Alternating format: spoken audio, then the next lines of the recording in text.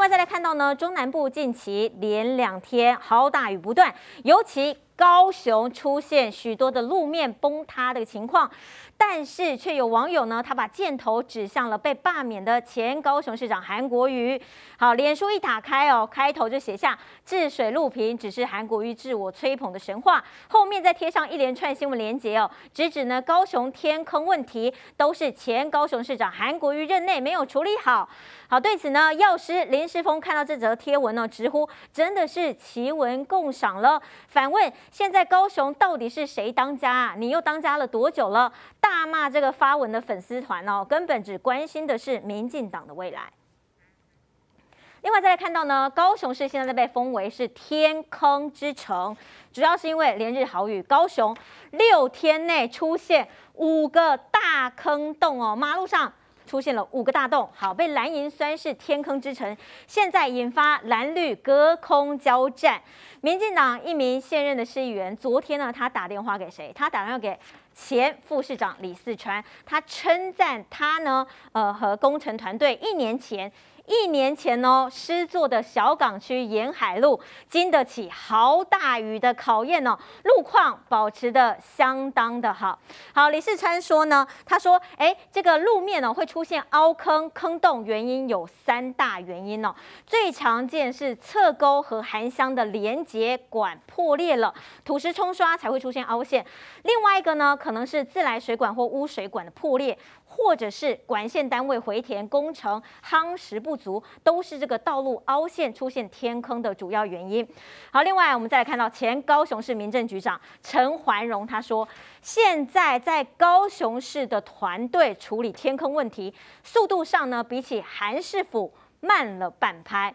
好，针对这个高雄天坑问题哦，高雄市议员邱宇轩痛批，他说陈其迈市长信誓旦旦挂包紧哦，他说呃，目前高雄的路况哦是东京品质，好，没想到呢一场豪雨全面破功，但是现在网络上啊全部都怪罪给高雄市前市长韩国瑜，好，韩国瑜都已经离职四百多天嘞，最后呢邱宇轩还说重话，他说这个罢韩四君子俨然已经成了。铁麦四君子，一起来听最新说明。海水退了，才知道谁没有穿裤子。一场好雨呢，我们看到麦麦哦，所谓的东京品质全面破功。陈其迈市长，你不是说你的道路是东京品质的道路吗？那现在的道路品质是哥吉拉肆虐过后的东京吗？那另外呢，我要针对 WeCare 的事情哦做一点回应。其实大家都知道，韩市长在位的时候，WeCare 跟所谓的霸韩团体哦是怎么的高标的凌辱跟严格的监督韩市长。那请问一下，现在的天坑你们视而不见吗？结果好不容易你们出现了，没想到你持续监督韩国瑜市长。请问一下，韩市长到底还要做高雄市长做多久？难道像马英九一样吗？在民进党心中？所谓的总统只有马英九总统，所以有事韩国瑜，没事陈其迈，反正高雄市所有的事情都是由韩国瑜来承受吗？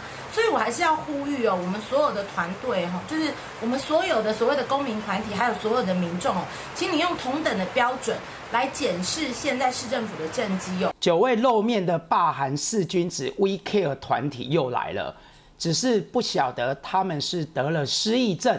还是心中太想念韩国瑜市长，连最近高雄市发生这么严重的淹水问题，以及路上层出不穷的天坑，都要怪罪给已经离职四百多天的韩国瑜市长。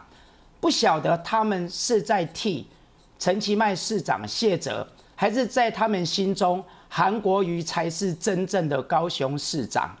这个霸韩四君子。俨然已经成了舔麦四君子。针对这个高雄的天坑问题，有前国民党主席朱立伦他在脸书泼文了，他说呢。还韩国瑜公道者必陈其脉。好，朱立伦呢在脸书中提到，他说灾情之后，大家都怀念韩市府团队与李四川副市长的政绩。路平灯亮，水沟通不是口号。这场大雨呢，冲垮了民进党在高雄的表面治基哦，冲破了侧翼王军的面具。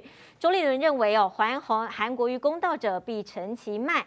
所以呢，可以看得出来哦，他们是对之前韩国瑜的政。基给出了正面的评价。好，另外再来哦，看到是因为好雨不断，高雄天坑的问题，国民党高雄市议员邱于轩，他五号在议会上要求，他要求呢，市长陈其迈应该要将特别费以及公关公关费减半，投入纾困。没想到此话一出，邱于轩的脸书却遭到网友洗版攻击，台北市议员王宏威就痛批，现在都用攻击在野护航，其迈天坑吗？来听听看他怎么说。高雄市经过连日大雨，造成市区很多的天坑。可是现在很多的丽云侧翼和一四五零却跑到高雄市议员邱宇轩的脸书去出征，要求邱宇轩像陈其迈一样的来捐钱。陈其迈捐钱是他自己的事情，更何况他身为市长，他所领导的市府团队施政不力，让高雄成为了天坑之城。可是。现在的这些绿云侧翼和一四五零，如同 We Care 高雄一样，反而是用监督在野党的方式来企图转移焦点。